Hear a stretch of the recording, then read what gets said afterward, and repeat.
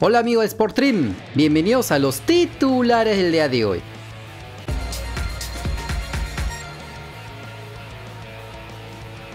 En partido amistoso jugado en Alemania, el Emen, aún de los peruanos, Didier Latorre, Miguel Araujo y Sergio Peña le ganaron por 3 a 0 al Essen como visitante. Como se sabe, aún los seleccionados nacionales, Peña y Araujo, están a la espera de dónde jugarán esta temporada en Europa, pero al respecto no hay rumores sólidos, mientras que la Torre no fue tomado en cuenta para este compromiso que lo ganaron con goles de Peter Van Oygen, Shamsu Masaray y Lorenzo Burnet. Como se recuerda, el Emen jugará la segunda división de Países Bajos en este año. Por el partido de ida de la segunda ronda previa de la Champions League, el Fútbol Club Sheriff de Gustavo Dulanto consiguió un triunfo por la mínima diferencia en su visita al Al-Aqsher de Armenia. El defensa peruano fue titular, jugó todo el partido en un encuentro parejo en el primer tiempo, pero que en el complemento, el campeón de Moldavia, fue mucho más y propio de ello fue que vencieron gracias al tanto de Enrique Lubanor a los 84 minutos. El mismo Gustavo Dulanto dejó sus sensaciones en redes sociales. Gracias Dios por permitirme vivir estos momentos. Toda la gloria es tuya. Ahora a pensar en la vuelta para que este triunfo de visita valga y seguir peleando por el objetivo trazado grupal y personal. Vamos, sheriff, afirmó Dulanto en su cuenta de Twitter. El partido de vuelta será el próximo 28 de julio, donde el equipo de Tiraspol intentará meterse a la tercera ronda previa a la gran y anhelada fase de grupos de la UEFA Champions League.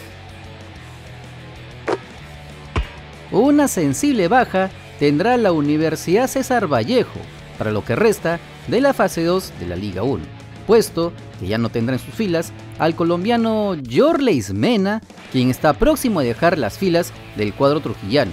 El propio delantero señaló luego del partido que los poetas vencieron al Cusco Fútbol Club lo siguiente. Es muy probable que este haya sido mi último partido con la camiseta del Vallejo. Hay ofertas concretas y espero que se puedan concretar en las próximas horas. Si bien Jorley Mena no quiso dar detalles hacia dónde se va a marchar, se ha informado que su carrera seguiría en el balompié de Emiratos Árabes Unidos, en una negociación que dejará buenos réditos a las arcas de la Universidad César Vallejo. Con su partida, el equipo de Trujillo quedará con el uruguayo Santiago Silva como principal carta de gol, teniendo también como opciones en ofensiva a Beto da Silva y Sebastián Piñao.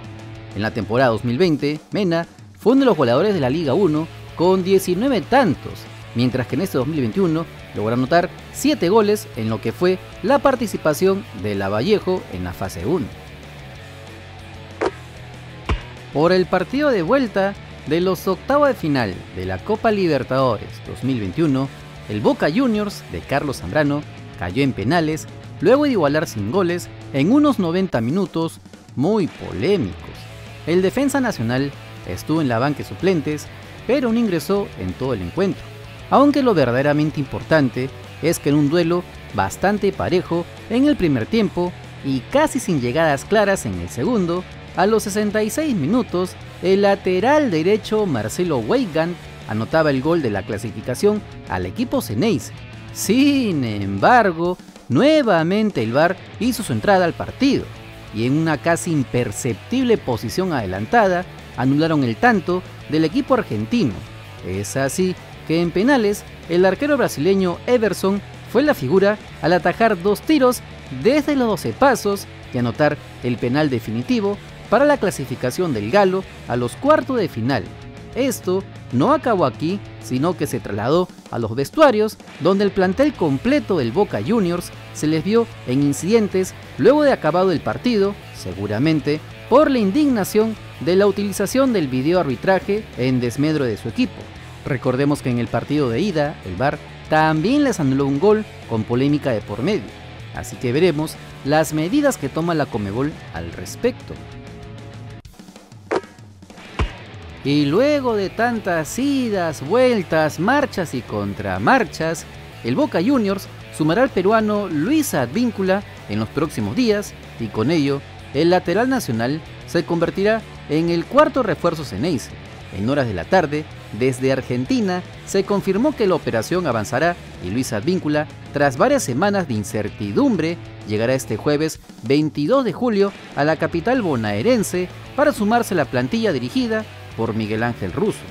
De esta manera, el jugador de 31 años de edad firmará con Boca Juniors por las próximas tres temporadas al haber comprado el 100% del pase de Advíncula, dándole un contrato hasta diciembre del 2024.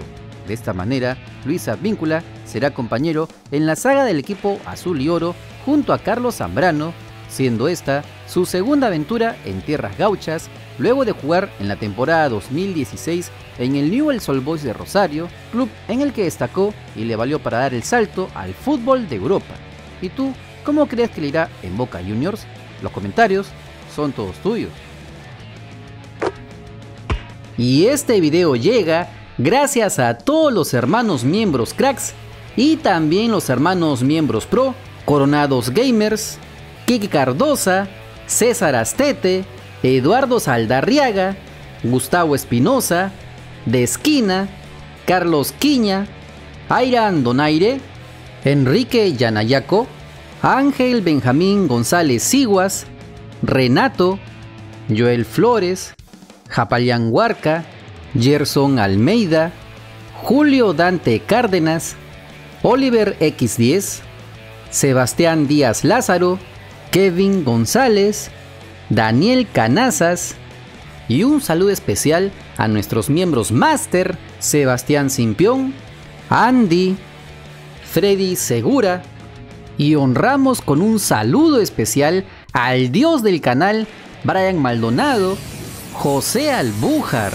Asmodeus, que ya están disfrutando de los contenidos exclusivos en grupos privados, accediendo a videos inéditos, detrás de cámaras, bloopers, blogs, hasta ser partícipes de grandes beneficios mensuales. Si así como ellos quieres ser reconocido en todos nuestros videos y directos, solo dale al botón unirte y sé parte de esta gran hermandad.